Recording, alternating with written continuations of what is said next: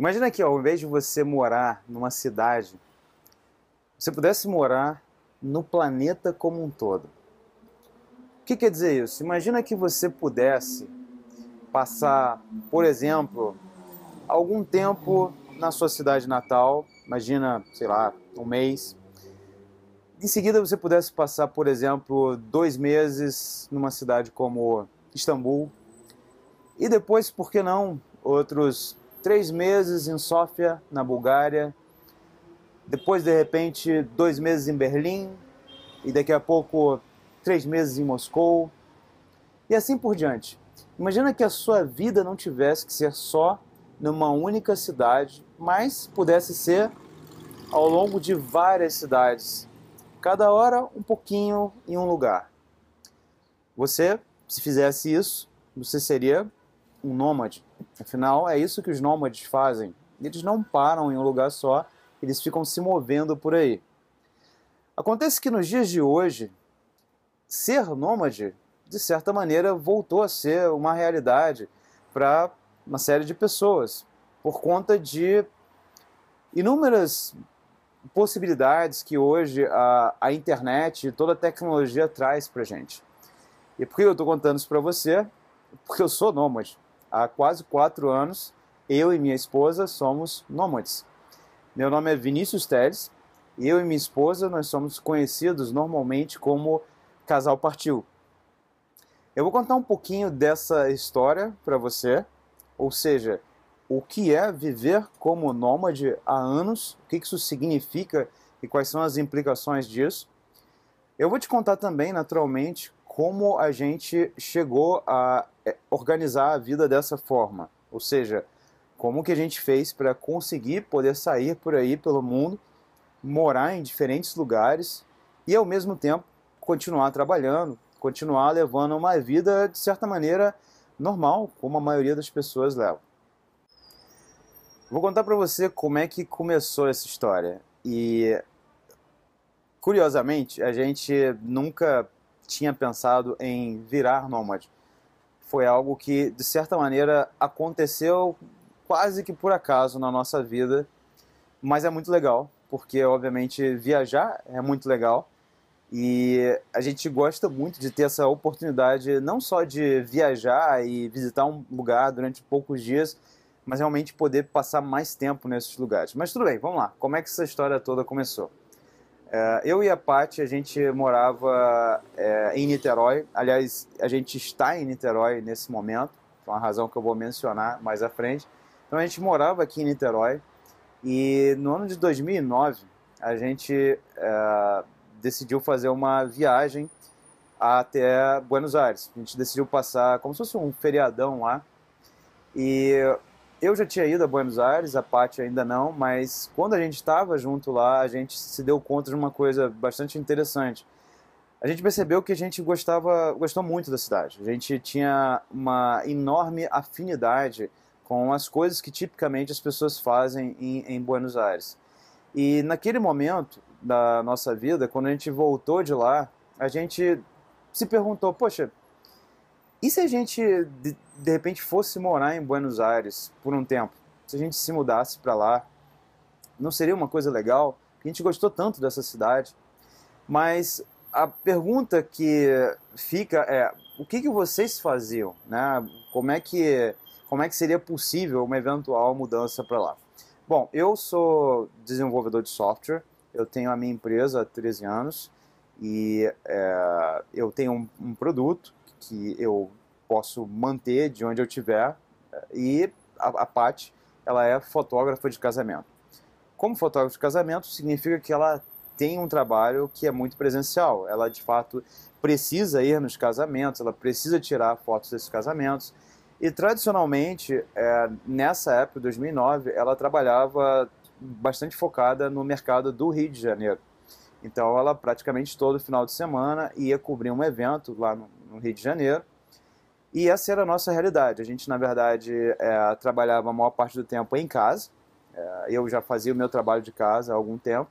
Ela também, quando não estava nos casamentos, ela estava em casa e tem muito trabalho para ser feito quando ela não está no casamento, porque tem que tratar foto, tem que preparar álbum, tudo isso, e é muito trabalho que se faz também dentro de casa. Mas, de certa forma, a gente já vivia uma realidade em que a gente, pelo menos, não tinha que ir a um trabalho externo na maior parte do tempo. Ou seja, nenhum de nós dois trabalhávamos, por exemplo, num escritório que a gente tivesse que todo dia pegar o carro, ir para o escritório, nada disso. Isso era um ponto muito positivo. Então, quando a gente foi a Buenos Aires e gostou da cidade e se fez essa pergunta, poxa, será que a gente não poderia morar lá? Era uma pergunta bastante razoável e bastante possível, porque a gente já trabalhava em casa, então a gente poderia continuar de lá trabalhando em casa na maior parte do tempo. E aí você pergunta, tá, mas e, e os casamentos dela? Como é que ela faria? Bom, como a Argentina é muito próxima, a gente está falando aí de duas horas e meia, três horas de voo para lá, ela poderia, ao invés de fazer casamentos todo final de semana, ela poderia talvez fazer casamentos a cada um mês, um mês e pouco aqui no Rio. Então, de repente, ela poderia passar um mês e meio, dois meses lá, daqui a pouco volta aqui, faz alguns casamentos, volta para lá. Então, a gente poderia ficar um pouco nesse vai e vem entre as duas cidades, não seria uma coisa impossível. E foi pensando nisso que a gente decidiu, de fato, fazer essa mudança para lá. Nesse momento, a gente vivia em um apartamento ah, bastante grande, porque nesse apartamento a gente tinha o meu escritório, onde eu trabalhava num dos quartos desse apartamento com mais duas pessoas, e a Pat, por sua vez, tinha um quarto desse apartamento, onde ela também trabalhava com outras duas pessoas. Então a gente tinha todo mundo trabalhando junto ali, a gente tinha uma situação de envolvimento com as pessoas que trabalhavam com a gente, um envolvimento muito presencial, é, não era usado nada em termos de trabalho remoto, todo mundo trabalhava junto, mas a gente acreditava que seria possível trabalhar de forma remota. Então, quando a gente pensou em ir para Buenos Aires, a ideia era como é que a gente começa então a estruturar alguma forma de trabalho remoto com esse pessoal.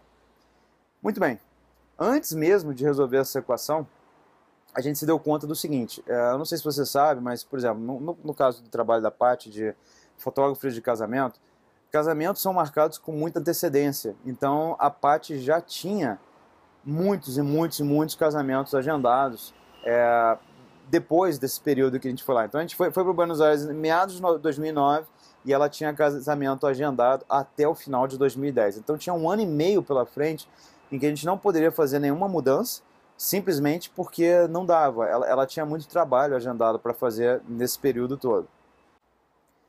Então a gente já sabia de antemão que a gente teria que esperar um ano e meio para fazer essa mudança e, obviamente, durante esse um ano e meio, é, a, o plano era fazer a mudança logo depois de 2010, ou seja, bem no início de 2011, e ela então se propôs a não marcar mais nenhum casamento ao longo do ano de 2011 da maneira como ela vinha fazendo até então. E essa foi a primeira coisa que a gente precisou fazer em termos de estruturar o nosso plano. Em seguida, o que a gente precisou fazer foi justamente começar a montar uma infraestrutura técnica para trabalhar com as pessoas remotamente. Então, nesse período, uma das coisas que a gente fez foi, por exemplo, uh, fazer algumas outras viagens também, em que a gente trabalhasse com a nossa equipe já usando a parte de infraestrutura técnica que a gente montou. Isso envolvia coisas como, por exemplo, Dropbox, que a gente passou a usar muito fortemente para poder trocar arquivos com as pessoas. A gente passou a estruturar outros mecanismos de comunicação é, que facilitassem também esse trabalho. E em 2010, meados mais ou menos de 2010, todos nós fomos juntos para Buenos Aires, porque uma das opções, inclusive, é que algumas dessas pessoas que trabalhavam com a gente talvez quisessem ir para lá também e morar por lá também e passar algum tempo lá. De fato, no final das contas, uma das pessoas que trabalhava com a Paty acabou indo para lá e morando lá também. Uh, e é, outros, os outros não foram. Mas enfim, todos nós pudemos ir e verificar até que ponto seria interessante assim por diante. Muito bem, uh, a gente no meado de 2010 a gente se deparou com a situação de, bom, está chegando perto da nossa data, o que a gente faz agora? A gente precisa levar as coisas para Buenos Aires, fechar esse apartamento aqui e ir embora para lá. E aí aconteceu uma coisa muito interessante. Eu fui começar a verificar o quão custoso, ou quão difícil seria transportar as coisas para Buenos Aires. E foi aí que eu descobri que seria extremamente custoso e, é, e bem complicado. E nisso a Paty então deu uma brilhante ideia. Poxa, mas e se a gente então não resolvesse. Se a gente vendesse tudo? A gente poderia vender tudo E quando chegar lá em Buenos Aires, a gente compra só aquilo que a gente precisa. Essa, essa ideia de vender tudo acabou sendo extremamente importante para viabilizar esse projeto depois de virar nômade. Porque, de fato, foi a ideia que a gente acabou implementando. A gente meio que montou uma lojinha online, foi todo um projeto dentro de um projeto maior. A gente passou em torno de dois ou três meses extremamente dedicados a vender tudo que a gente tinha, tirar tudo da nossa reta e é, basicamente esvaziar a casa para que a gente pudesse, pudesse chegar no final de dezembro e ir embora sem levar quase nada com a gente. Então a gente conseguiu vender a maior parte das nossas coisas e o resto a gente conseguiu é, dar ou, ou passar para outras pessoas e assim por diante.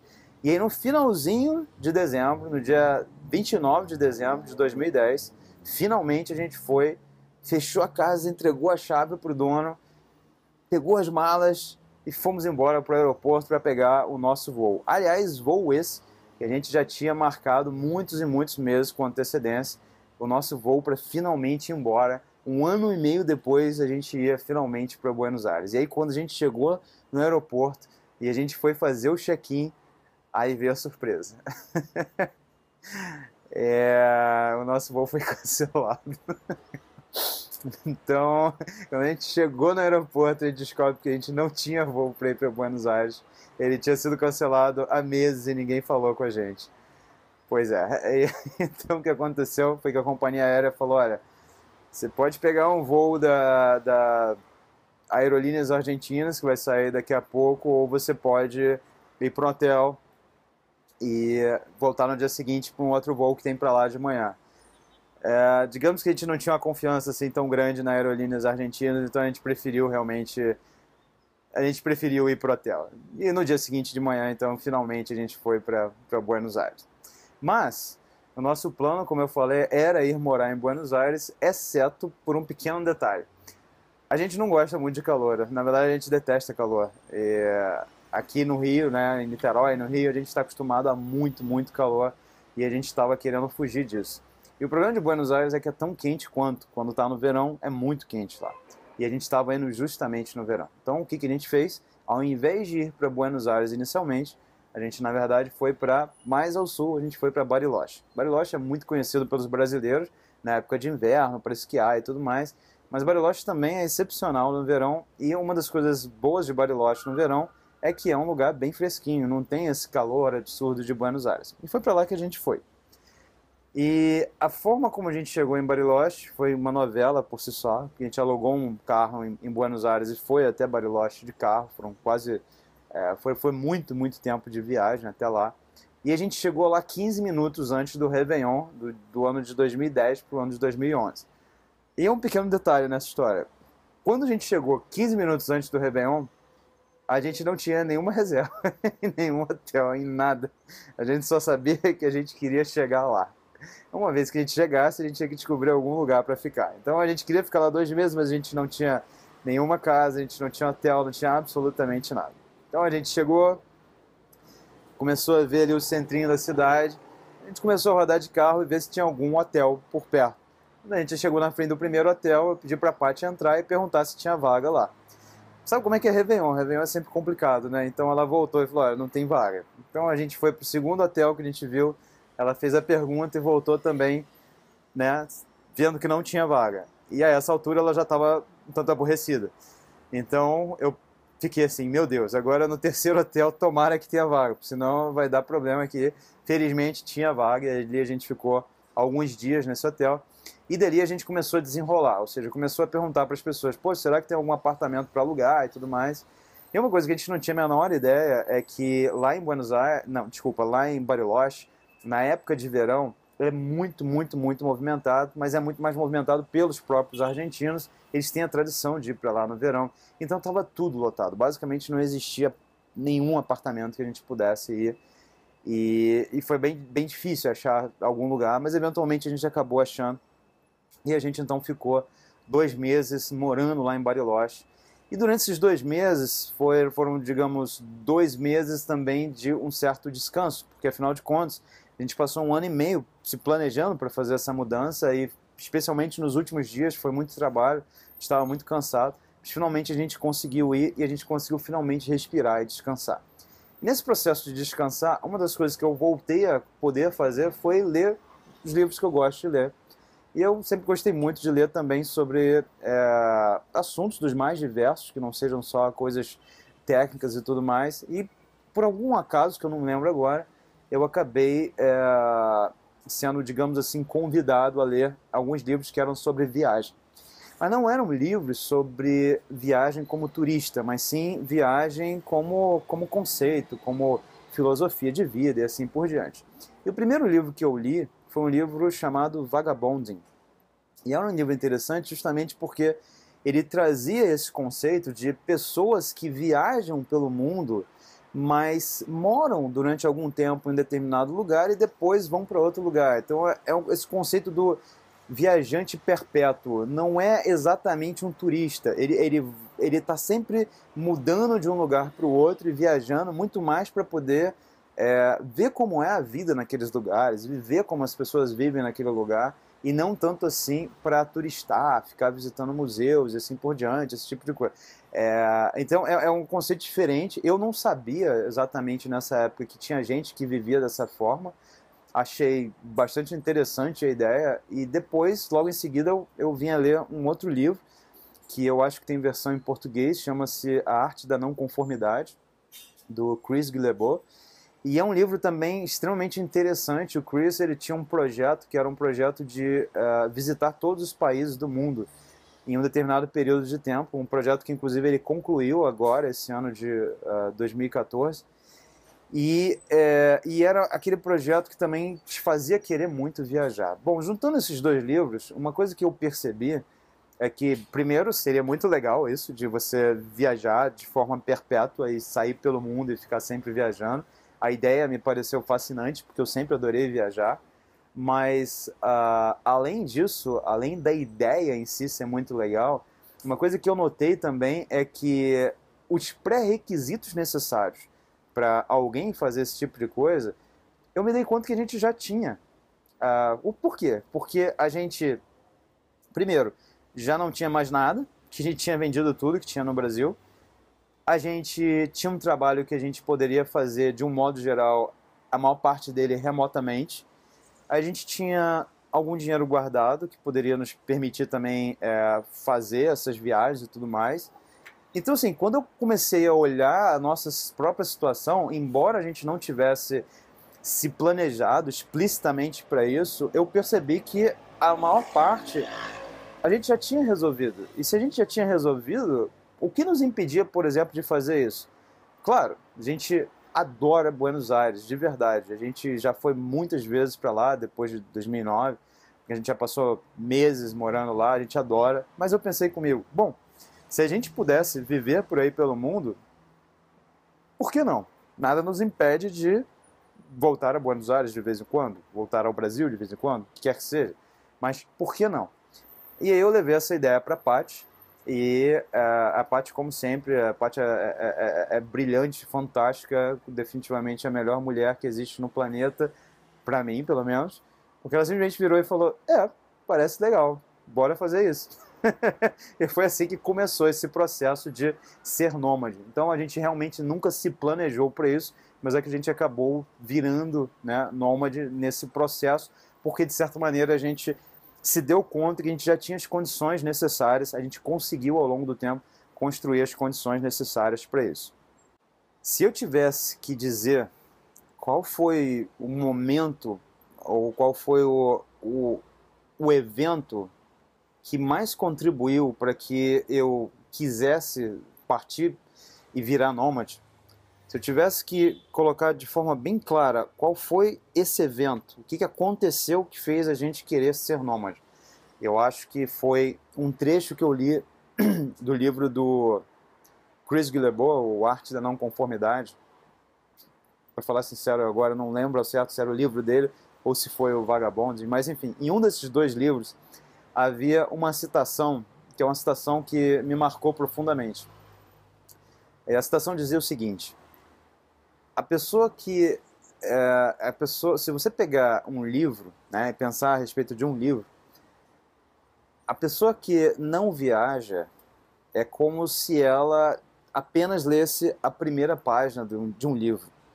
Então, assim, é, quando você viaja e você vê o mundo como um todo, esse grande livro que é a vida é como se você realmente lesse todas as páginas dele. Mas quando você não viaja, é como se você não, não passasse da primeira página. E, e esse, esse, esse trecho do livro me marcou profundamente, porque eu pensei assim, gente, eu não quero viver minha vida inteira e ler só a primeira página. Eu, eu quero eu quero ver o livro todo, eu quero ler tudo, eu quero ver tudo que existe por aí. E o mundo é tão rico, tão legal, tão rico de possibilidades. Se eu posso sair por aí, por que, que eu vou ficar parado num lugar só? É, não faz sentido, né? E foi esse, eu acho que, o empurrão principal que me levou a querer urgentemente começar esse processo. Então, é, esse, esse tipo de coisa que a gente faz hoje não é uma coisa é, incomum. É, já foi no passado, talvez, mas é, há alguns anos isso passou a ser uma coisa cada vez mais que cada vez mais acontece, que cada vez mais você vê. Óbvio que, como em outros movimentos, isso começa sempre mais forte em outros países, como por exemplo gente dos Estados Unidos, gente da Europa. Eles tipicamente começam fazendo essas coisas primeiro. E de fato, hoje existem muitas pessoas, americanos, europeus, neozelandeses, australianos, de outras partes do mundo, que vivem dessa forma e é, vivem dessa forma em grande parte porque a tecnologia vi viabilizou que eles pudessem viver dessa forma. E por essa razão, é, passou a se cunhar esse termo chamado nômade digital. Seja, são pessoas que são nômades por conta de toda a infraestrutura, né, toda a tecnologia digital que existe hoje em dia que permite que elas, por exemplo, trabalhem, ganhem dinheiro e tenham uma vida completamente normal vivendo em diferentes partes do mundo. Então esse movimento, digamos assim, de nomadismo, nomadismo digital não é uma coisa nova. Quando a gente saiu por aí para fazer isso, já tinha um monte de gente que fazia isso antes. A gente confesso que a gente não conhece é, muitos brasileiros que fazem isso, como a gente, mas provavelmente eles também existem por aí. E, e, o nômade digital ele é um pouco diferente, por exemplo, de outras modalidades de viagem em que você é, viaja também por bastante tempo. Então, por exemplo, ela é diferente, por exemplo, de, de ser um mochileiro, porque é, não é uma coisa que tem um fim determinado e nem necessariamente é uma coisa que você está pulando de lugar em lugar com tanta rapidez. Uh, por outro lado, também não é o que se chama, por exemplo, de fazer um, um sabático. Né? O sabático é quando você, por exemplo, tira aí dois, três anos e fala, ah, vou viajar durante esse tempo, mas depois eu vou voltar e vou ter a minha vida, digamos, normal. É, o nômade realmente ele ele pega aquilo dali, a viagem e o trocar de um lugar para o outro, ele pega e traz isso como o estilo de vida dele normal, que foi o que aconteceu no nosso caso. Então a gente, por exemplo, não tem um momento que a gente pense em parar. Eu não sei nem se faz sentido depois que você começa a fazer isso, um dia você parar. Talvez você possa viajar um, um pouco mais lento, mas daí a parar me parece que faz pouco sentido quando você começa a enxergar e viver o mundo de uma maneira mais é, que é corriqueiro para você ir para lá ou para cá e assim por diante. Mas enfim, é, hoje a nossa realidade é a seguinte: a gente não tem uma casa fixa nem no Brasil e nem em nenhum outro lugar do mundo. Onde quer que a gente vá, a gente vai sempre buscar algum lugar que seja temporário, que a gente possa alugar e ficar ali durante o período que a gente quer e depois a gente vai embora para um outro e assim por diante. E como isso é muito fora do habitual, a gente ao longo do tempo foi recebendo uma série de perguntas e até para que fique mais, talvez mais claro como as coisas funcionam, eu vou pegar algumas dessas perguntas e vou uh, já tratar aqui nesse vídeo, tratar e já responder nesse vídeo. Então, uma das primeiras perguntas que fazem para a gente é se a gente tem filhos e como é que a gente lida com essa questão, né, tendo filhos.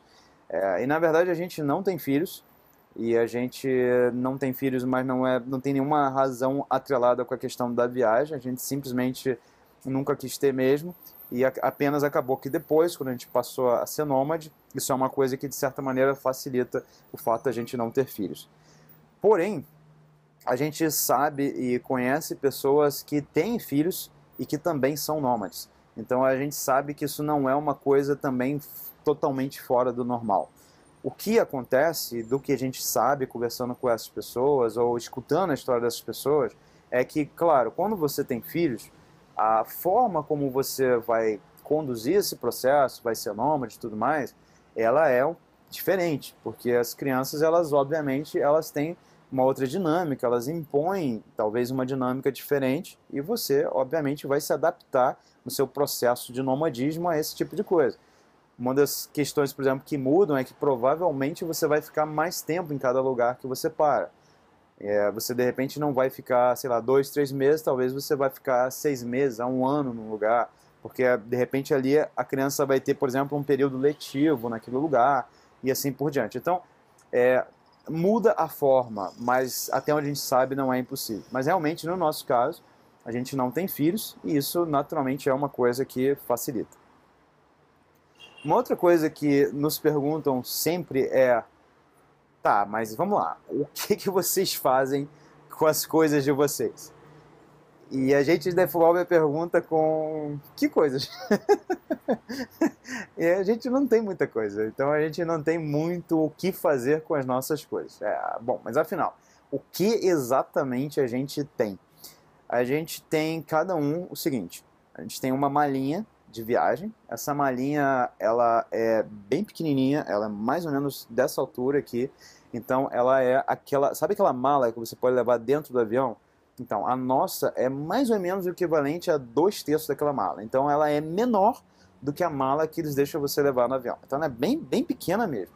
E por que, que ela é pequena? Ela é pequena porque é muito mais fácil você se locomover por aí quando você está levando uma malinha pequena. Quando você viaja o tempo todo, realmente faz diferença essa comodidade de você estar tá levando algo leve. Então, o que a gente tem dentro dessa mala é roupa suficiente para uma semana a 10 dias.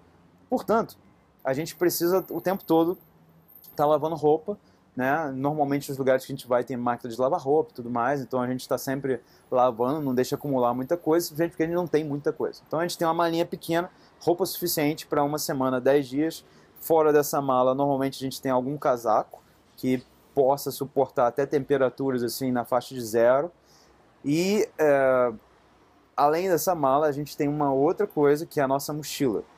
Na mochila de cada um de nós, a gente tem o nosso notebook e a gente tem câmera fotográfica, é, iPad, esse tipo de coisa, adaptadores né, e assim por diante.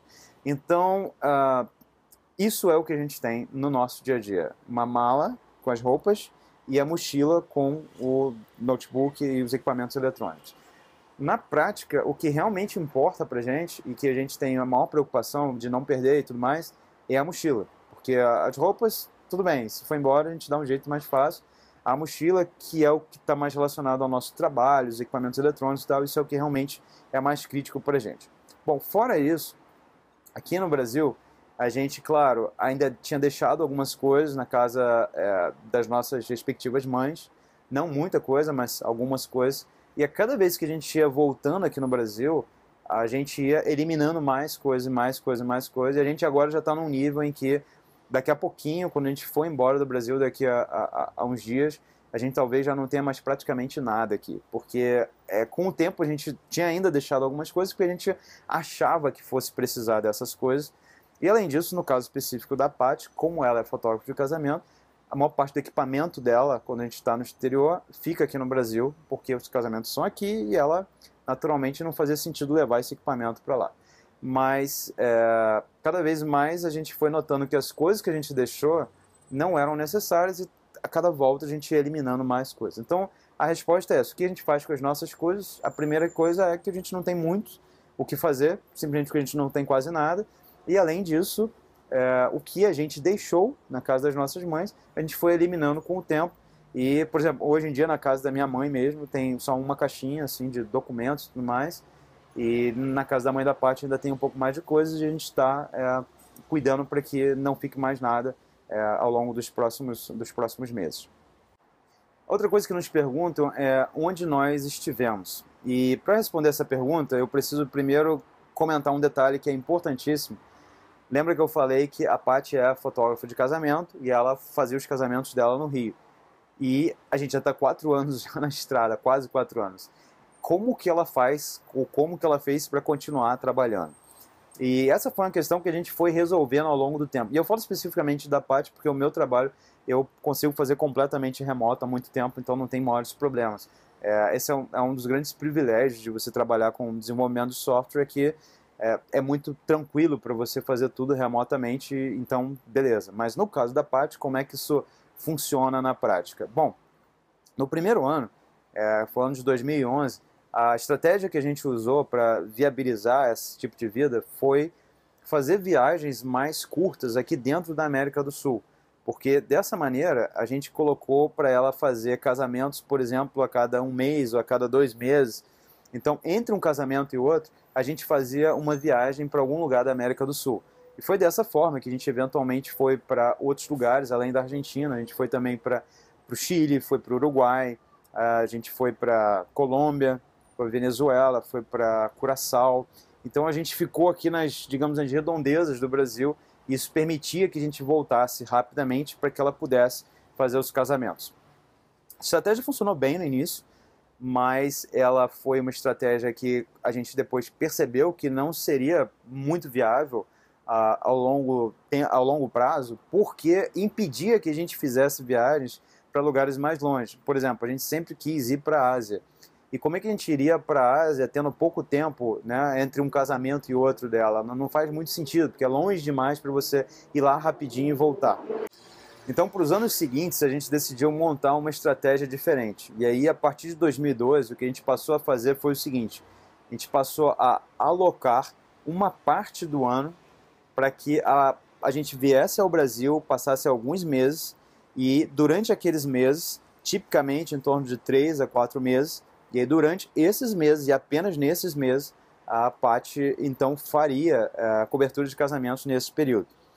E aí a gente decidiu que tipicamente de setembro a novembro uh, de cada ano a gente estaria uh, aqui no Brasil para fazer essa, essa cobertura dos casamentos, para ela fazer a cobertura dos casamentos. Isso liberava, então, um espaço bastante grande de tempo, tipicamente entre dezembro até agosto, a gente poderia ficar em outras partes do mundo sem maiores problemas e seria um tempo contínuo que a gente poderia ficar em outro lugar. Essa arrumação ela funcionou perfeitamente bem e é o que vem funcionando para a gente desde então. Então esse é o terceiro ano que a gente está é, dentro dessa arrumação. Isso inclusive é a razão pela qual a gente está aqui no Brasil, aqui em Niterói, nesse momento. Então a Paty ela ela está fazendo coberturas de casamento nesse nesse momento. E bom, a partir de 2012, dado que a gente abriu essa possibilidade de ficar mais tempo fora, a gente então fez uma viagem de volta ao mundo durante nove meses. A gente saiu daqui do Brasil, foi para a Argentina e na Argentina a gente começou essa volta ao mundo que foi um período bastante legal para a gente conhecer outras partes mais distantes que a gente realmente nunca tinha estado até então. Então, que lugares a gente teve nessa viagem? A gente saiu da Argentina, voou diretamente para Sydney, na Austrália. A gente passou um, um, mês na Austrália e desse um mês, uma boa parte foi é, em Sydney e outra parte foi realmente viajando pelo país de carro até chegar em Melbourne. É, curiosamente, apesar das pessoas falarem muito de Sydney, é, eu particularmente acabei gostando a gente, né, eu e a Paty, a gente acabou gostando muito mais de, de Melbourne, mas enfim, é só um detalhe à parte aqui. E de, de lá, da Austrália, a gente então foi para a Nova Zelândia, a gente também passou um mês. E a Nova Zelândia, você deve saber que existem duas ilhas, né, a Ilha Sul e a Ilha Norte. E a Nova Zelândia é um país que tem uma diversidade muito grande, assim, em termos de, de natureza, de cenário, é um lugar realmente muito bonito. E a gente alugou uma camper van, né, uma aquela um carrinho relativamente pequeno, mas que você podia dormir dentro dele e tudo mais. E a gente rodou o país inteiro, a Ilha Norte e a Ilha Sul, durante um mês nesse carrinho. Foi uma experiência é, bastante interessante também. E de lá a gente foi em seguida para o Japão. No Japão a gente ficou torno de 20 e poucos dias lá no Japão. Também rodamos o Japão de norte a sul e é um dos lugares mais, mais fantásticos que a gente já esteve, é um lugar sensacional que eu espero voltar uh, muitas vezes lá, uh, lá né, no Japão. E depois do Japão, aí começou algo realmente diferente. do Japão, a gente foi para um lugar ligeiramente diferente do Japão, a gente foi para a Índia. E a Índia não é um lugar fácil. Assim, a Índia é um lugar que ou as pessoas amam ou elas odeiam, mas é um lugar sempre bastante desafiador por várias razões. É um mundo à parte também. O Japão é um mundo à parte, mas a Índia também é um mundo à parte. É, é, é um mundo é, diferente, muito diferente. E a gente passou em torno de duas semanas lá na Índia. E de lá da Índia a gente então passou para outros lugares na Ásia. Então a gente foi para Hong Kong, foi para Tailândia, foi para Malásia. Uh, depois a gente foi para a gente se encaminhou para o Oriente Médio e aí a gente foi para Dubai. E depois de Dubai a gente foi para outras partes também no Oriente Médio. A gente foi para Jordânia, foi para Líbano, uh, Egito, a gente foi para Chipre, foi para Grécia, foi para Inglaterra. E então foi um ano que a gente cobriu vários lugares muito legais. Foi um ano é, sensacional em termos de é, aprendizado também desses lugares. E depois então a gente finalmente voltou para o Brasil e a Paty fez a sequência de casamentos que ela tinha agendado nesse período aí de três a quatro meses. Esse ano de 2012 ele foi um ano que eu diria que foi dentro dessa história toda um pouco atípico, porque quando você está fazendo naturalmente uma volta ao mundo, você não passa tanto tempo assim em cada lugar.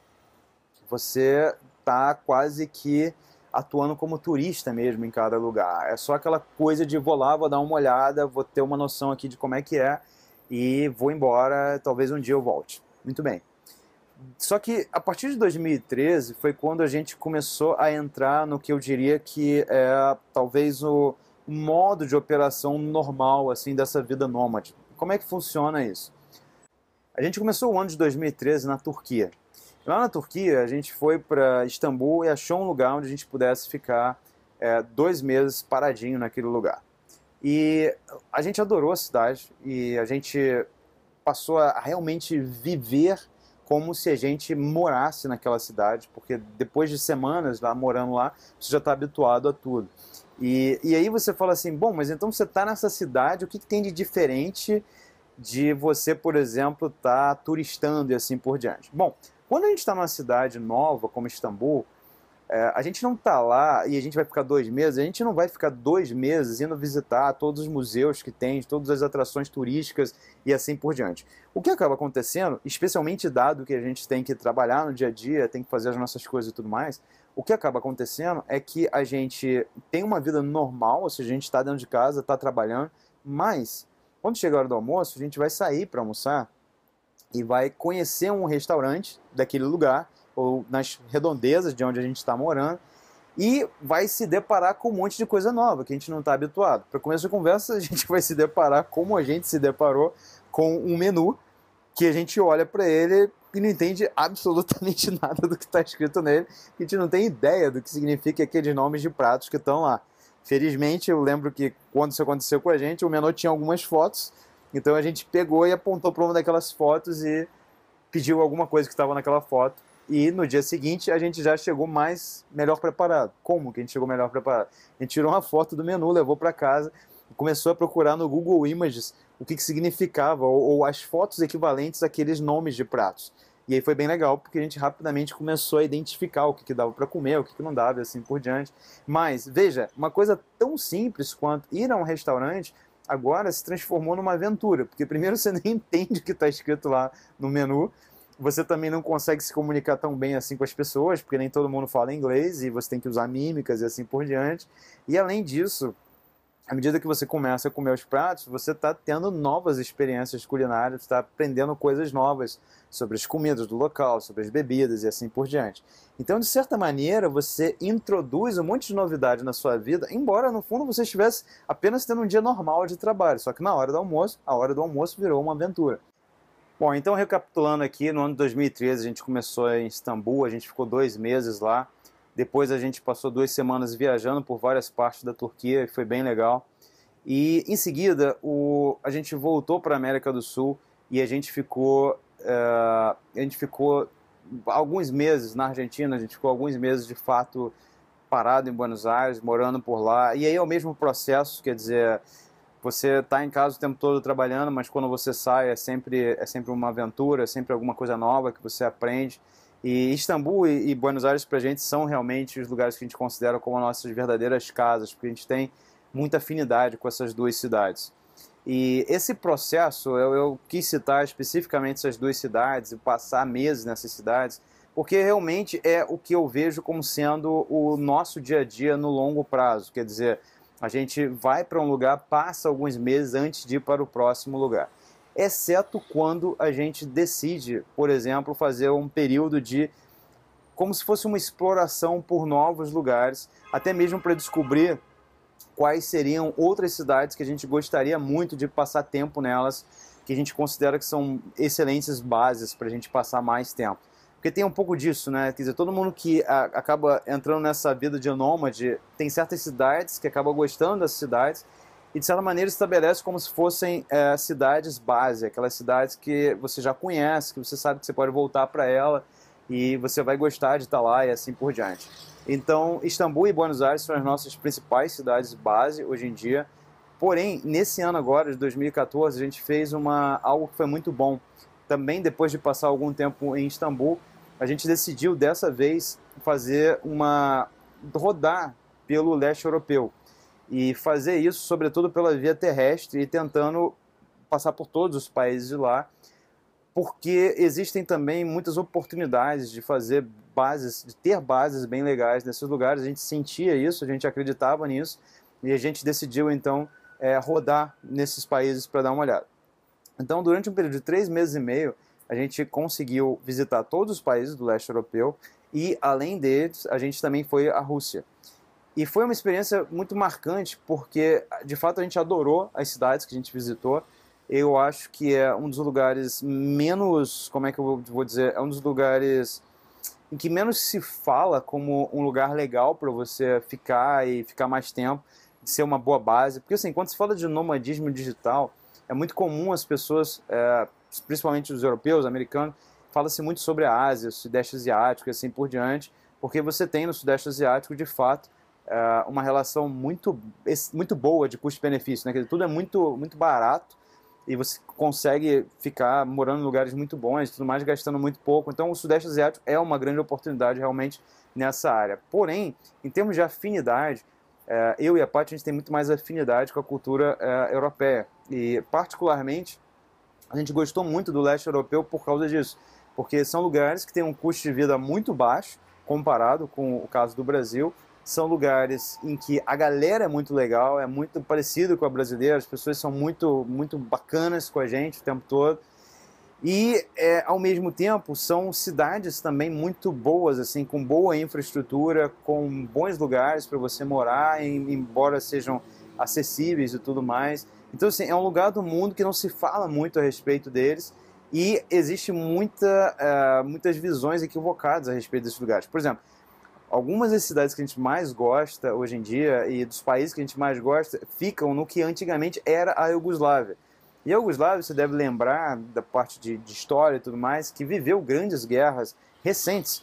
E as pessoas ainda acham que está em guerra. Então, as pessoas, por exemplo, você fala lugares como Kosovo, a pessoa fala, ah, mas Kosovo está em guerra. Não, é, é, o que acontece na Iugoslávia é que houve sim períodos muito sérios de guerra, na, década de 90, mas isso já passou, já tem mais de 20 anos que essas guerras acabaram e hoje são lugares extremamente pacíficos, extremamente legais de você visitar e tudo mais, mas que pouca, pessoa, pouca gente vai porque acha que tem alguma coisa rolando por lá e na verdade não tem. Inclusive, uma das coisas que a gente descobriu é que o leste europeu, de um modo geral, é muito mais seguro do que a Europa Ocidental. Então você vai, por exemplo, para a França achando que, ah, porque a França é incrível, é muito seguro. Você vai para o leste europeu, também é incrível e é mais seguro ainda. Então essa relação é muito interessante e a gente precisou fazer essa rodada por lá, né? Em três meses a gente rodou vários países e várias cidades e aí de novo você está num, num, num, modelo que é um pouco parecido com mochilão, com com turistar e tudo mais, mas ele é importante de fazer isso de vez em quando. Para a gente é muito importante fazer isso de vez em quando, como um processo de identificação de novas bases. Então hoje, por exemplo, a gente sabe que a gente poderia viver muito bem e muito feliz em lugares como Sófia, na Bulgária, é, em lugares como até mesmo Bucareste, na Romênia, é, definitivamente Belgrado, na, na Sérvia, uh, Hungria, obviamente, Budapeste é um lugar sensacional. Uh, na Polônia, Cracóvia é um lugar também fantástico. Eslovênia é um lugar fantástico, na, na, em Ljubljana, na capital da Eslovênia. Até mesmo na Rússia, tanto Moscou quanto São Petersburgo, a gente adorou essas cidades. Na Letônia, é, Riga, uma cidade que também a gente gostou muito. Então, assim, tem muito lugar legal. E é muito diferente quando você volta numa cidade pela segunda vez. Você simplesmente se sente muito mais à vontade de cara e você sabe o que você pode esperar dessas cidades. E por que eu digo isso? Porque como nômade, quando você fala assim, ah, eu vou para uma cidade para ficar dois meses ou ficar três meses, pois você, você tomar a decisão de ficar três meses num lugar que você nunca esteve antes, que você não tem a menor ideia se você vai gostar ou não daquele lugar, é muito mais, vamos dizer assim, dá muito mais aquela preocupação do que você simplesmente ir pro, voltar num lugar que você já conhece. Então, às vezes, essa coisa de ir um pouquinho de tempo antes, é, passar pouco tempo, pelo menos para ver se você gosta, eu acho que é muito importante. E isso foi um exercício bem legal que a gente fez esse ano, especificamente com o leste europeu, que eu acredito que valeu muito a pena. E como eu mencionei, o leste europeu é um lugar que tem uma, uma, uma característica muito boa, que é uma excelente relação custo-benefício. Então, você tem é, lugares que são muito baratos, mas que você recebe em troca é, uma qualidade muito boa em termos de acomodação, em termos de transporte, em termos de é, alimentação e assim por diante. E essa questão do custo, naturalmente, é muito relevante e a essa altura, talvez você esteja se perguntando o seguinte, peraí, essa história de viajar pelo mundo é linda, meu amigo, mas vocês devem ser bilhardários, devem ser muito ricos para poder fazer uma coisa dessa, porque assim, não dá, viajar é muito caro, não dá para ficar viajando assim. E essa é a coisa mais interessante e mais surpreendente. Primeiro, a gente não é nem um pouco rico, a gente está longe disso. E a gente viaja também porque é muito mais barato do que não viajar. O que eu quero dizer com isso é que, surpreendentemente, enquanto a gente viaja, da maneira como a gente viaja, a gente gasta muito, muito, muito menos do que a gente gastaria se a gente estivesse paradinho onde a gente sempre esteve, aqui em Niterói, ou no Rio, ou, na verdade, em quase qualquer cidade hoje do Brasil. Por quê? Porque o Brasil se tornou, ao longo do tempo, um dos lugares mais caros que existem no planeta. É muito caro hoje em dia. Você provavelmente sabe disso, porque você lida com isso no seu dia a dia. O que talvez você não saiba é o quanto outros lugares podem ser muito, muito mais baratos do que o Brasil. Então é assim, é, não é que a gente seja rico, mas a gente arrumou as coisas de uma maneira diferente que viabiliza a gente redirecionar a nossa grana, vamos dizer assim. Por quê? Qual que é a grande dificuldade quando você é, tem uma vida, vamos dizer assim, normal e você vai tirar férias? Por que, que tirar férias tipicamente é uma coisa cara e faz com que você gaste muito dinheiro? Porque quando você tira férias, você já tem os custos fixos da sua casa, que aqui no Brasil naturalmente são custos muito altos. Quando você tira férias, você passa a ter também os custos da viagem. Então você tem o custo de passagem, você tem o custo da acomodação no lugar para onde você está indo, você tem um monte de outros custos. Quando você junta esses dois, você fala assim, é, viajar é muito caro. Porém, imagina que você não tenha mais o custo fixo no Brasil, que é justamente o nosso caso. A gente não tem uma casa fixa no Brasil, então a gente não tem que pagar aluguel, a gente não tem que pagar IPTU, a gente não tem que pagar luz, a gente não tem que pagar condomínio, a gente não tem que pagar água, não tem que pagar internet, não tem que pagar telefone, a gente não tem que pagar um monte de coisa. Esse monte de coisa, o que a gente faz com tudo que a gente pagava para esse monte de coisa, é que a gente agora usa esse dinheiro para financiar as nossas viagens. Então a gente simplesmente fez uma troca. O dinheiro que a gente gastava no Brasil em contas fixas, a gente agora gasta nas contas dos outros lugares. Então a gente paga a acomodação de onde a gente estiver, a gente paga a passagem para onde a gente estiver indo e assim por diante. A gente só fez uma troca, tira daqui, joga ali a chave está justamente em não ter mais nada fixo no Brasil, em não ter mais contas no Brasil. Isso viabiliza um monte de outras coisas. Além disso, o outro lado que é muito bom é simplesmente o fato de que quase todos os outros lugares que a gente vai são realmente muito mais baratos do que o Brasil. Então, se a gente conseguiu manter mais ou menos o nosso, vamos dizer assim, nosso faturamento que a gente já tinha quando estava no Brasil, e a gente não tem mais as contas fixas e passou a gastar esse faturamento em outros lugares, a gente agora fica numa situação que a gente meio que trocou seis por meia dúzia. A gente não ficou mais rico nem mais pobre. A gente simplesmente passou a direcionar esse dinheiro para outro lugar. E, na verdade, a gente gasta menos nos outros lugares. Inclusive, quando a gente chega no Brasil, a gente fica apavorado, porque sempre é tudo caro demais, é, especialmente a contrapartida do que a gente recebe em função disso é muito fraca perto do que a gente recebe, por exemplo, em outros lugares, pagando muito menos. Então, essa é a chave para gente. É não ter mais as contas fixas é, no Brasil. Isso é o que muda tudo. Uma outra coisa curiosa que sempre perguntam para a gente aqui no Brasil é: peraí, mas você vai viajar pelo mundo, mas o mundo é um lugar muito perigoso. Não é arriscado fazer esse tipo de coisa? Vocês nunca passaram por nenhum problema? E aí? Se der algum problema, o que, que você faz? Como é que você resolve isso? E a violência nos outros lugares? isso é muito engraçado. É muito engraçado por quê? Porque, lamentavelmente, a maior parte das pessoas que nos perguntam isso são pessoas que já vivem numa realidade infelizmente muito violenta. Verdade seja dita, aqui em Niterói, Rio, São Paulo, quase em qualquer lugar que seja hoje no Brasil, a gente vive uma situação de é, insegurança muito forte e é muito difícil você ir para um outro país em que você esteja numa situação de insegurança ainda maior do que a insegurança daqui. Então, assim, é, é não que não exista, mas é, não é tão comum assim. Por exemplo, o conceito de assalto que é uma coisa muito corriqueira de acontecer aqui no Brasil, não é corriqueiro na maioria dos outros lugares do mundo.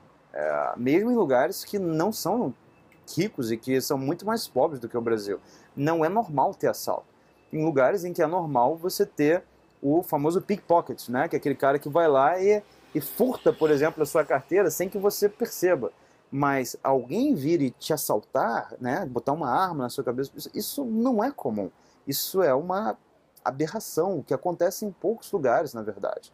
Então, é, em termos de insegurança, eu acho que para o brasileiro, né, dado a insegurança em que ele já vive, quase a maioria dos lugares para os quais ele pode vir a, a, a viajar para esses lugares, provavelmente vai ser mais seguro do que onde ele já está.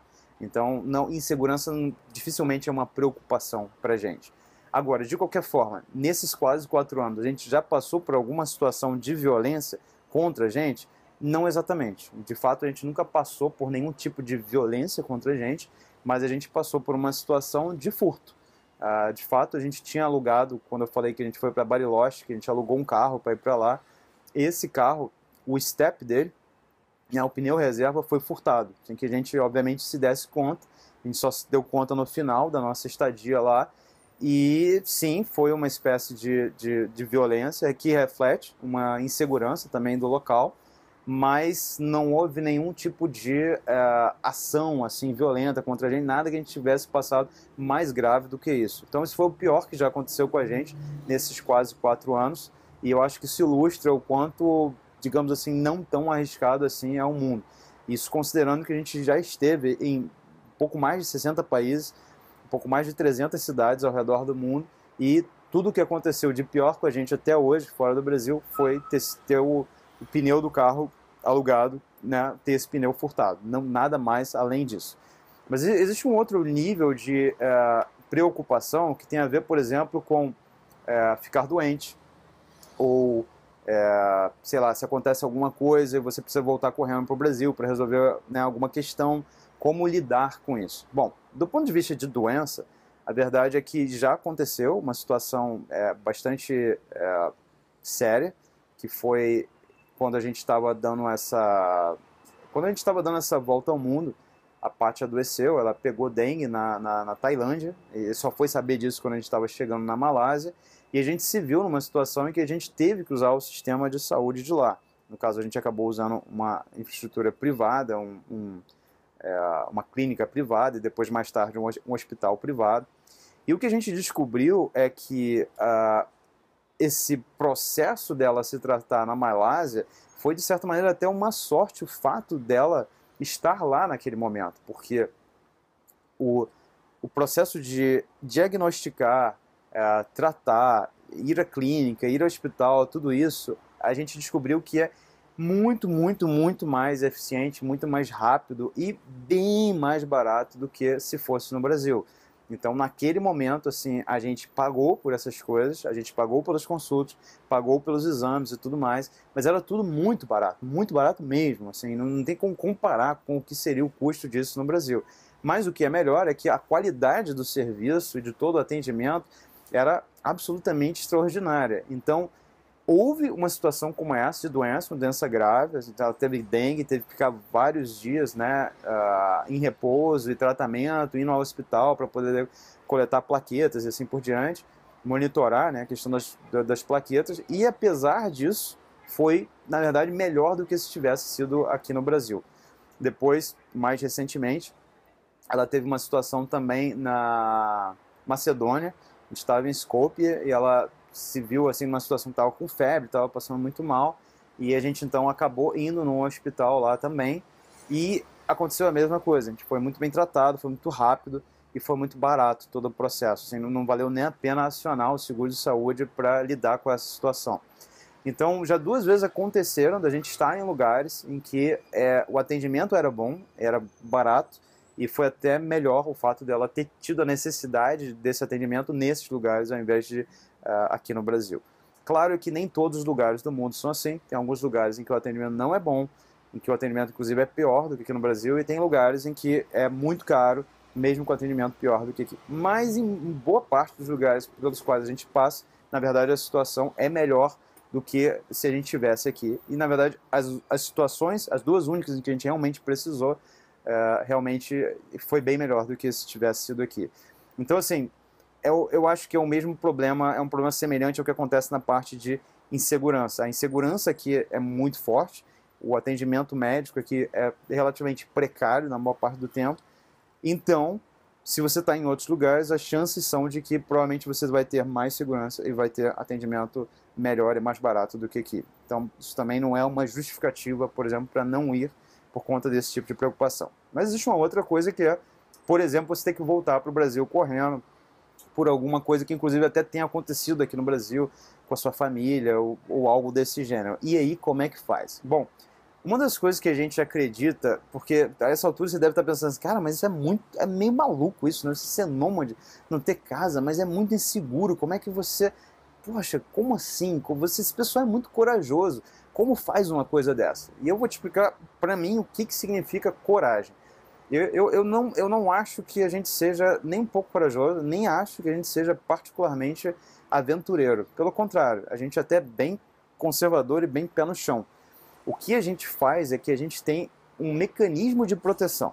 Em tudo que a gente faz, a gente introduz mecanismos de proteção que a gente é, espera que esses mecanismos possam nos ajudar se der alguma coisa errada principal mecanismo de, de, proteção que a gente usa é o fato de nós, ao longo do tempo, ao longo da nossa carreira, ao longo da nossa vida, a gente sempre procurou juntar uma reserva financeira. Essa reserva financeira serve como uma base para que, se a gente tiver qualquer problema, onde quer que seja, a gente sabe que a gente tem ali um pouquinho de dinheiro guardado que a gente pode pegar e usar se necessário. Então, por exemplo, a gente tem que voltar de emergência para o Brasil por alguma razão, a gente tem que ter a tranquilidade de saber que tem lá o dinheiro que viabilize um negócio desse, se necessário. Não é que a gente vai ficar usando aquilo ali o tempo todo, mas numa emergência tem como usar aquilo dali para resolver o problema. Então eu acredito que quando você monta uma reserva financeira, isso não é uma coisa que a gente começou a montar da noite para o dia, a gente na verdade levou todo o nosso tempo de carreira, de trabalho, desde que a gente começou a trabalhar, a gente sempre foi botando um pouquinho lá e foi montando essa reserva. Quando você tem uma reserva, você tem um colchão de segurança, que a qualquer momento você pode usar isso se tiver algum problema. É por isso que a gente faz as coisas com a tranquilidade que a gente faz. Se a gente não tivesse isso, ia ser muito preocupante, porque se der um problema lá, como é que faz para resolver? A outra questão ligada a essa proteção, vamos dizer assim, de como você lida né, com os problemas e tudo mais, é que assim, isso também eu acho que acredita muito para a gente nunca ter passado por nenhum problema grave ligado à insegurança e tudo mais. A gente se planeja muito, muito, muito, muito, muito. Então, antes da gente chegar numa cidade, eu já estudei tudo que você puder imaginar a respeito daquela cidade. Eu aprendi a estudar muito rápido a respeito dos lugares, a saber quais são os melhores lugares na cidade para a gente se acomodar, que são os lugares mais seguros, são os lugares mais convenientes, é, quais são os melhores tipos de comida, por exemplo, para comer. É, como é que funciona o esquema de transporte, como é que eu vou de um, de um ponto ao outro da cidade. Então, assim, a gente pesquisa muito antes de chegar na cidade, a gente se planeja bastante. E, e esse processo de planejamento é o que na prática faz com que a gente chegue lá e para que essa conversa não fique perdido. E se você não fica perdido, se você sabe o que está fazendo, se você tem segurança do que está fazendo, é muito difícil, por exemplo, de alguém te dar uma pernada, de alguém te passar para trás, de alguém te, sabe? Porque você simplesmente já estudou, você já sabe. Aliás, todo lugar do mundo, né? A gente acha, ah, no Brasil tem um monte de malandro, não sei o quê. Cara, existe malandro em tudo quanto é lugar do planeta. Existe gente tentando, por exemplo, tirar vantagem de turista em absolutamente qualquer lugar. Assim, a gente já teve, por exemplo, gente em Paris tentando dar pernada na gente. A gente já teve gente em tudo quanto é lugar do mundo tentando dar pernada na gente. Mas quer saber de uma coisa? Se você estudar com antecedência, se você olhar os sites de viagem, todos os truques que eles fazem, tudo que tentam fazer para te enganar, já está tudo descrito lá, porque eles fazem isso o dia inteiro. então, não tem problema. Lá na Turquia, por exemplo, em Istambul, tem o truque clássico lá do sapateiro que deixa cair a escova para não ser. Cara, tá lá no manual. É só você ler que você já vai saber que existe. Você não precisa cair nesse truque. Você não precisa cair no truque da aliança em Paris. Você não... Porque tá tudo escrito. Então o que eu faço é eu leio antes de chegar no lugar. Quando eu chego no lugar que eu vejo acontecendo aquilo, eu falo, ah, é aquele truque. E aí o que acontece? Eu não caio no truque. A gente não cai, porque a gente já sabe. Então, grande parte da proteção que você monta para você mesmo é simplesmente estudar, se preparar, chegar com um bom planejamento. Se fizer isso, dificilmente tem problema no lugar. E claro, como parte do planejamento, você consegue até mesmo saber se vale a pena ou não ir para aquele lugar, até que ponto é um lugar violento, é um lugar complicado, é um lugar que você vai colocar em risco né, a sua segurança ou não. Então também por isso a gente nunca teve problema nenhum. E uma coisa que vai acontecendo ao longo do tempo, à medida que você viaja e tudo mais, e eu acho que essa sim é a mais importante de todas na prática, é que você vai cada vez desenvolvendo mais habilidades. Habilidades dos mais diferentes tipos de coisas na vida, porque você está vivenciando uma vida que te expõe a situações muito mais variadas do que você teria se você estivesse numa mesma cidade a vida inteira. E à medida que você vai desenvolvendo cada vez mais habilidades, o que acontece é que você fica mais capaz de lidar com qualquer situação que apareça na sua frente. E além disso, você também gera mais habilidades até mesmo do ponto de vista de como ganhar dinheiro, como fazer receita, como, sabe, ter outras possibilidades de receita que te permitem, te permitam continuar tocando essa vida. E além disso, você desenvolve uma outra coisa que são relacionamentos. Porque uma coisa que acontece com a gente é que a gente faz amigos em todos os lugares que a gente vai pelo mundo. Você imagina, passar dois meses na cidade e não ter nenhum amigo não é legal. Então, assim que a gente chega, a gente já tenta arrumar amigos. E quando você começa a ter amigos espalhados ao, ao redor do mundo, isso é muito bom, porque a hora que você tiver um problema, mais provável é que tenha um amigo ali perto que possa te ajudar também.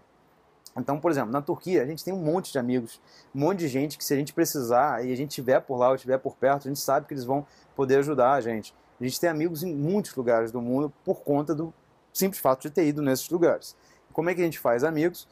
Tipicamente, quando a gente está chegando numa cidade, eu vou. Uma das estratégias que eu uso é olhar o Couchsurfing. Couchsurfing é esse site muito legal para você ver lugares onde você poderia ficar sem pagar por ele, alguns dias você possa ficar ali, conhecer a família, assim por diante. A gente nunca ficou em nenhum lugar usando Couchsurfing porque a gente é, a gente está sempre trabalhando, então a situação é um pouco delicada. A gente acaba preferindo alugar um lugar para a gente para poder ter a tranquilidade de trabalhar e, e que se a gente ficasse no Couchsurfing, a gente obviamente ia querer dar atenção para a família também e tudo mais. E às vezes a gente simplesmente não pode por causa do trabalho. Então, a gente nunca usou o Couchsurfing para se hospedar, mas o Couchsurfing ele tem, por exemplo, a questão dos eventos. Então, eles fazem muitos desses eventos semanais, por exemplo, em várias cidades. Na Turquia, tem, na, em Istambul, tem evento semanal de tudo quanto é coisa que você imaginar. Todo dia da semana tem algum evento do Couchsurfing. É, desde o evento, sei lá, de toda quarta-feira de encontro geral até evento para você aprender russo, evento para aprender turco, evento para aprender inglês, ou então para aprender culinária, tem evento para caramba. Então a gente sempre está chegando na cidade, a gente verifica, tem algum evento do Couchsurfing? Se tiver, a gente simplesmente vai lá, visita o evento, e ali a gente começa a fazer amigos na cidade, daqui a pouco, como acontece em outros lugares, né, um amigo vai chamando outro amigo, você vai conhecendo outro, daqui a pouco você tem uma rede de amigos naquele lugar. Então, eu acredito que quando você vai desenvolvendo cada vez mais habilidades para você, e você tem bons relacionamentos que você foi desenvolvendo, e além de tudo você tem uma, uma base, né, uma reserva financeira, quando você tem essas três coisas, você pode andar pelo mundo com tranquilidade. Se der alguma coisa errada, provavelmente você vai ter a grana suficiente para reverter, eventualmente, ou vai ter a habilidade necessária para reverter, ou vai ter os amigos para te ajudar a reverter aquela situação. Então não é tão grave assim. E para finalizar, eu gostaria de falar sobre o que, que foi o maior desafio para gente, para que a gente pudesse ter esse tipo de vida. E eu acho que o maior desafio talvez não seja exatamente o que a gente pensa, assim, quando né, fala disso. A gente sempre pensa que, ah, o difícil é a questão do dinheiro, ou difícil é a questão do, sei lá, do trabalho e tudo. Claro, essas são questões muito importantes, né, que, que têm que ser resolvidas e são desafiadoras, mas para a gente não foi tanto, porque como a gente já trabalhava é, por conta própria, trabalhava em casa e, e, tinha liberdade de decidir sobre o nosso próprio tempo tudo, é, não foi tão crítico assim. Mas, no nosso caso, dado que a gente já tinha vencido a questão da grana, a questão do trabalho, é, o que, que foi a parte realmente difícil para gente? E eu, eu, diria que foi a parte do apego. É, apego a quê? Apego, primeiro, às, às próprias coisas da gente, porque a gente vendeu tudo, e a verdade é que, assim, é, todo mundo se apega um pouco às coisas que tem, né, as coisas que tem em casa e assim por diante, apesar de a maioria dessas coisas serem de pouca relevância na sua vida, mas a gente acaba se apegando a elas. Então imagina, por exemplo, roupas. De repente você tem um monte de roupa que você gosta, que acha muito legal, você fala assim, ah, mas como é que eu pego e boto tudo na malinha pequena? E a resposta é, você não bota. Então você tem que eliminar mesmo, você tem que se desfazer delas. E você tem que exercitar esse desapego de deixar embora aquelas coisas ali. Claro, lembrando que ao longo do caminho você também vai ter oportunidade de né, comprar outras. Então, não é que você ficou sem aquilo dali nunca vai poder ter. Não, você pode, mas é, né, as pessoas são muito apegadas às coisas em si. A outra é o apego às pessoas. Então você tem essa questão do apego né, à família, aos amigos, a todo mundo que está ali à sua volta. Como é que você lida o fato de, né, com, com o fato de não ter mais essas pessoas à sua volta? Essa é uma coisa interessante porque a gente hoje vive num mundo em que é, é muito fácil manter contato com as pessoas se você quiser, né? É porque você tem todas as formas possíveis de comunicação de graça, desde Facebook, WhatsApp, e-mail, Skype e mais um monte de coisa. Então, assim, não existe hoje uma limitação em termos de você manter o contato com as pessoas. É claro que não é a mesma coisa você manter um contato, ainda que seja com uma videoconferência não é igual a simplesmente estar com a pessoa. Mas, assim, é, é, é bastante ok, é, né? Então, você consegue manter o contato. Não é que, tipo, ah, você saiu pelo mundo e nunca mais vai ver essas pessoas. Fora que, se você se planejar bem, se organizar bem, eventualmente você pode voltar sempre, encontrar de novo com as pessoas e assim por diante. Então não é também o fim do mundo e vale lembrar que também ao longo do caminho você vai conhecer outras pessoas e você vai também preencher esse vazio com outras pessoas também legais e outras experiências. Também não é nenhum fim do mundo, mas ainda assim é um apego que é, precisa ser superado e, e é um exercício fazer isso. Mas tem um outro apego mais sutil, que eu acho que esse sim foi o que nos afetou mais, que é quando você tem uma carreira e que você gosta daquela carreira e que você, né, sempre se empenhou nela e sempre se empenhou para ter um nome né, relevante nessa carreira, é, você tem a sensação de que você está abrindo mão dessa carreira ou abrindo mão de qualquer é, status ou, ou, ou, percepção né, que as pessoas tinham a respeito de você. É, é um pouco como se você estivesse abrindo mão da sua história e da sua reputação, aquela reputação que você foi criando ao longo do tempo.